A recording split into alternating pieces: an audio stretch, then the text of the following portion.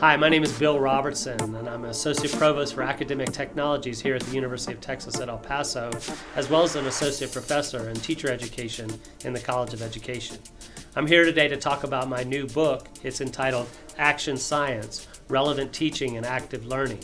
It's available now from Corwin Publishing, and it has to deal with putting skateboarding and BMX in terms of teaching for middle school students and teachers. Uh, the idea really is something that I've been working on for some time. It combines my area of expertise in working with middle school students and teachers, but also it integrates a constructivist method for teaching. Uh, constructivism is a method by in which people learn by doing, but it's also an area where learning is defined as the responsibility of the learner. Constructivism is also characterized by the five E's, or the five areas that begin with an E. First one calling engage, explore, explain, elaborate, and evaluate. So the book takes a 5E approach to showing how the method or the pedagogy of teaching this material can be utilized. Another interesting feature of the book is that it uses QR codes to bring movies out of the text. Uh, a teacher or a student can go over the part of the book with their mobile device or their tablet and they can activate the QR code and movies will pop out of the book.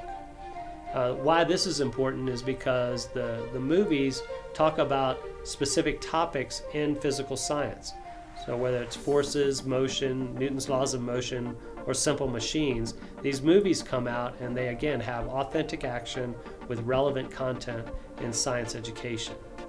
So for me, it's a great opportunity to, to, to reach out to the people I serve, the, the the teachers in the area, as well as those across the nation and even international.